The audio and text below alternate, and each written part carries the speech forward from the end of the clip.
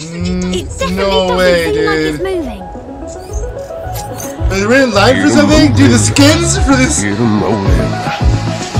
a new Overwatch. This is a new Overwatch anniversary. Remix Volume 3 starts in like two days. Let's go. Who's excited for this? I am excited for this. I hope you're excited for this. If you're not an Overwatch player, you're not excited for this. Better be.